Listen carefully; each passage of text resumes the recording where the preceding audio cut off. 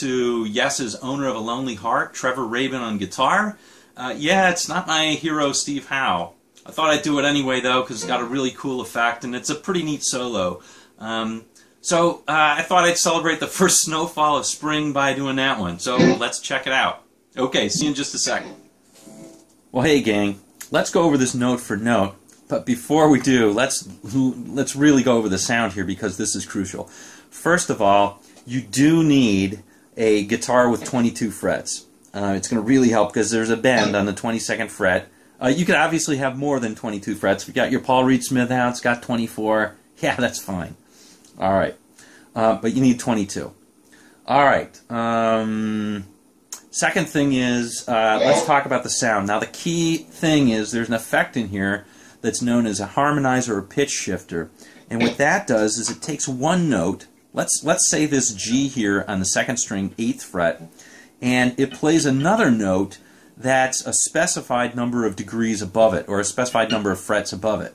So when we play this G, we're also going to get a number above it, and I've set it at seven, so that'd be one. That's seven uh, frets above it. That's a D. So it's kind of like when I play that one note, this um, my guitar is going to play two notes. That. Now let's check it out. Now I'm going to put the pitch shifter on. You'll see what I mean. And the nice thing about it is once I have that in, I can play it pretty quickly. I don't have to have two guitars that are doing different things.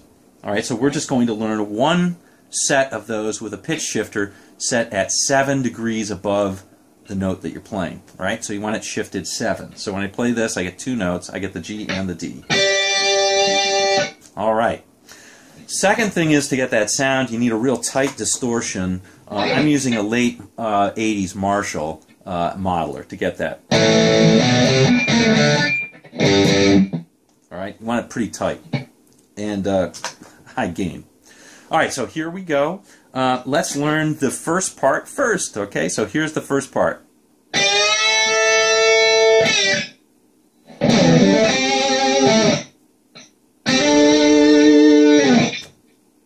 Okay. Very straightforward. This song, um, this right here.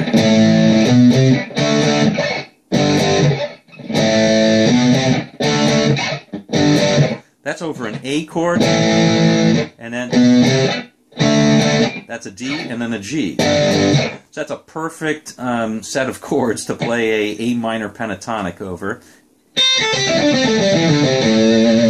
that's going to work really well. So that's what we're going to use uh, here is that A minor pentatonic. All the notes are going to come out of that. All right, so let's start. Um, the first one we're going to do is we're going to take this on the, the second string that uh, on the eighth fret. We're going to bend it up a whole step, then bring it down to just the the eighth and uh, cut it off.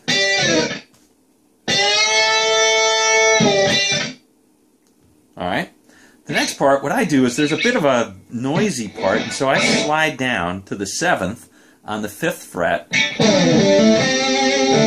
and then I play. Uh, I'm sorry, the, on, on, the fifth string, I bring it down to the seventh, and immediately play that lick right. And that is uh, on the fourth string, five, seven. You hammer on, and then play the five on the third, and give it a little vibrato and then play the seventh on the fourth.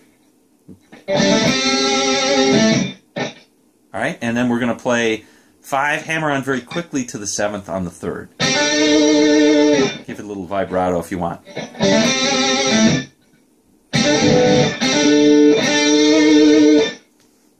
don't don't keep hammering it on like I just did. All right, so that's the whole thing, let's hear it again.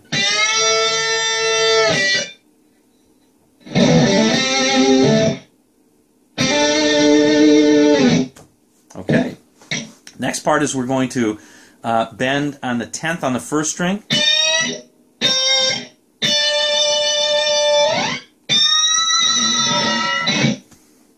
All right, so that's this part right here. We're bending on the 10th string, bend up a whole, and you kind of bend it slowly.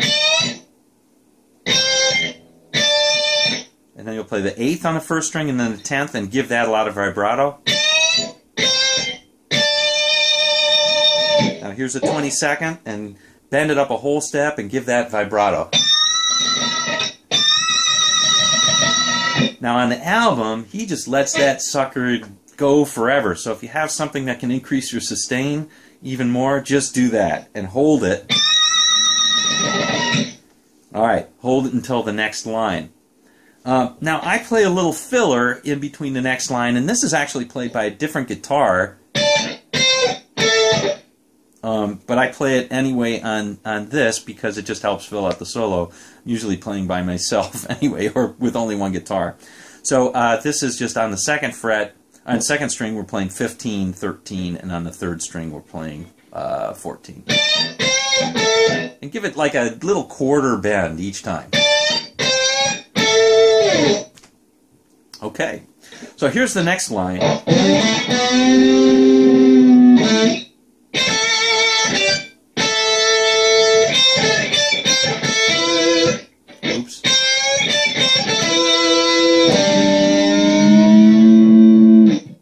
That in chunks. All right. Uh, all right. So that one is um, you'll play uh, on the fifth string. You're going to play that G on the tenth fret, and on the fourth string you play seven, and bend up on the ninth, and just bend it up a whole. Uh, I'm sorry, a half step, and then pull it off to the seventh. All right. So like so. All right, now that can also be played on the third string by playing open. And second, fourth, bend up a half, and then pull off to the second. So those are equivalent, okay? I like doing everything in the eighth, ninth, seventh positions here, so I'm not moving all around uh, with my left hand. So that's why I do it that way. You like how the other sounds? Use it, okay? All right, here's the next part. So this one is you're, you're, playing on the first string, you're playing the eighth, and quickly playing the tenth on the second string, and then eighth, and then eighth and hammer on the tenth. All right.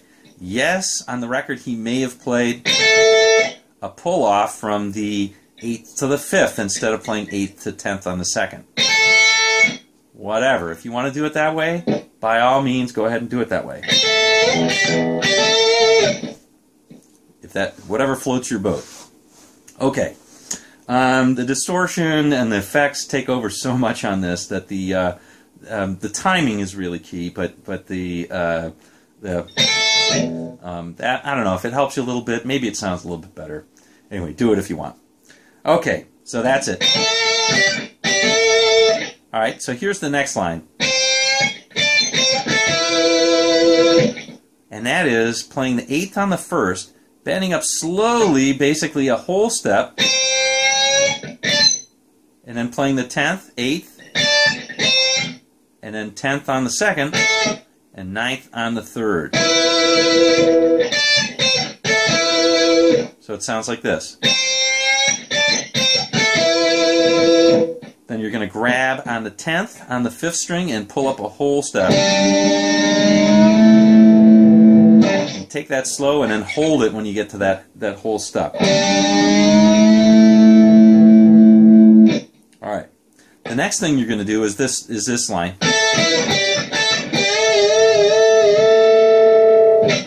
And that is simply um, tenth on the second, and then on the third you will play um, the ninth and the twelfth, and back up to the tenth on the second and then you're going to play the uh, the 12th on the third and bend it up a couple times. I guess three. Three. I don't know how to count. Four.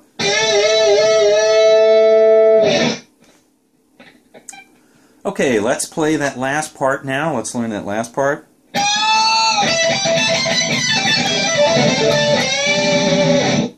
All right, now, um, to understand this, I think a little bit easy, more easily, um, I'm going to take off the pitch shift.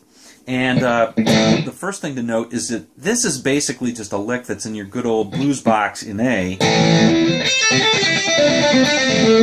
and we're just going to drag that up uh, a whole octave to get to the 17th fret, okay?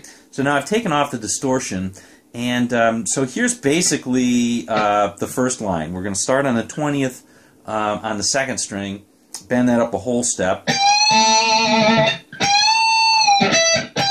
play the 17th back to the 20th, and then we're going to play the following 17th. Um, we're going to play the following. And that is 17th, 20th, 19th, and then this roll right here 20th, 19th, 17th, 20th on the second. Okay, that's that part. And then he kind of accelerates. This is a part I'm not sure I have 100% correct, but.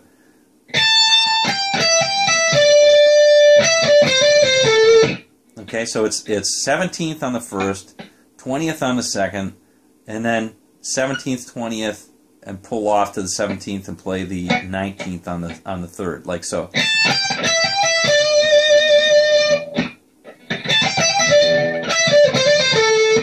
And then we'll play the 17th on the second, 19th on the third, and then play this hammer on and pull off again, 17th, 19th, pull off to the 17th and 19th on the fourth. Okay, and then play the 19th on the third, 19th on the fourth, and play the 17th. Bend it up about a half step. Okay, that's a typical maneuver. Oops.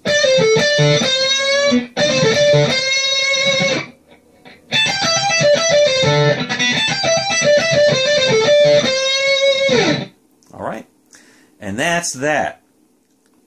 Okay, gang, hope you enjoyed that one, and we'll see you on down the road.